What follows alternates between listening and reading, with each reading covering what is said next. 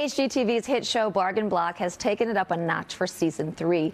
Keith and Evan have more houses, bigger spaces, and face bigger obstacles than ever during the jaw dropping transformations. Take a look. Okay, guys, I got a nice place I want you to see today. Are you serious? Is that from the Wizard of Oz? I mean, I've seen you work wonders on homes just as bad as this. So Shay had lost her mind. It's collapsing. Where's the witch? Just joking. Okay. Oh, good. And Keith and Evan join me now. Welcome, guys. Good to see you. Thank you for having us. Yeah, so uh, listen, Evan, people are loving this season because you're doing things differently this year. I mean, you're buying, you guys are buying up multiple houses on the same street, right?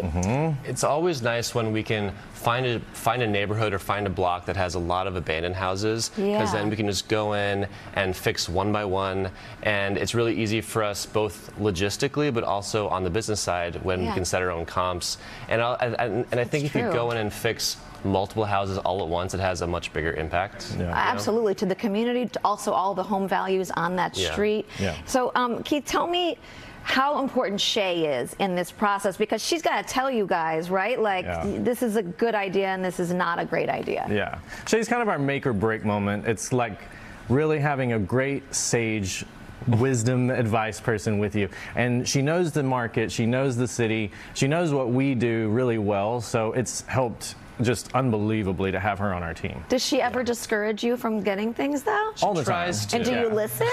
we don't normally i mean price makes me listen and uh, normally Yes, yeah. she knows what we'll take and what we won't take but she's been the best thing that could have ever happened to our business Yeah, and how important is it for you guys to kind of incorporate the history of the town, of the mm-hmm. community, into designing and building these homes? Well, Detroit has a really amazing history, mm-hmm. um, and it also has a really amazing architectural history too. Yeah. Because there was one time where the city was the most wealthy city in the entire world, mm. and so you have some real architectural gems throughout the whole town. Yeah. And so whenever we go into a house, if there is something like original marble floors or or original like six-inch plank oak or uh-huh. things like that, we'll try and save it. Say anything you can Yeah. save that has like a story, a history. Mm-hmm. You got to try to save that stuff, right? Yeah. Yeah, but a lot of times those floors are just kind of rotten and wet and um, falling Fortunately, apart. most of them are not savable. Yeah. A lot of them are way beyond help on that kind of stuff, but it's fun to see that transformation. It feels like life literally is being breathed back into the house. Yes, it's mm-hmm. good to get that mega sledge out and, and, and give her, let her take you for a ride. I can't believe I Mega was Sledge got cracking up when you were saying that. I was like, she's gonna take you for a ride. I'm gonna make really will. T-shirts. I rode Mega Sledge. yes. And she was my prom date. All right, but you've really become a part of this community too, right, guys? I mean, like you've, you teamed up with a jam company, right? We have. And and tell me what they're doing, what you're doing together. So one of the biggest problems in Detroit um, is the uh, the roofs and these houses. When they start to fail, there's really no stopping the damage after that. So Right. If we can stop that, the water intrusion at the roof, most of the rest of the house can be pretty much saved or easily fixed. So our Yeah. our uh, project that we're working on is raising money to put roofs on people's houses in Detroit that might not be able to afford them normally. So Yeah. we've done this fundraiser with a jam. It's called Raising the Roof. It's raisin. Love It's that. really tasty, but it's just a fun way to kind of give back to the community because they've done a lot for us. I love that. Yeah, you got to start with a Yes. roof over your head. Yes. Yeah. Yeah, um, but it's not just TV that you guys are going, doing. You also have the company. Is it Nine Homes? It's called. Mm-hmm. Yeah. What's the first room you like to attack when Uh, you're taking over? Normally, you know, back in the day when we were living in them, we kind of had to start with like a bedroom Or just- bathroom. or a bathroom. Yeah. Right. So I would Is say that how you started? Like you Yeah. did, like you'd Yeah. live in them, and then you would Yeah. lived in a totally Yeah. So broken down. blown Yeah. up bad, bad, bad house. So you get the bathroom working first. You get a bedroom set up so you have like a, a zen moment of like calm Yeah. in the house. before you walk through the rest of it. Yes, because every morning when you wake up, you know, and you're walking across sawdust and Yeah. trash and just construction debris, it's very depressing. It's you know? depressing and motivating. It is. Yes, it it is. is. It's like Yeah. I have to get this done twice as fast now. Yeah, So, yeah. That's funny.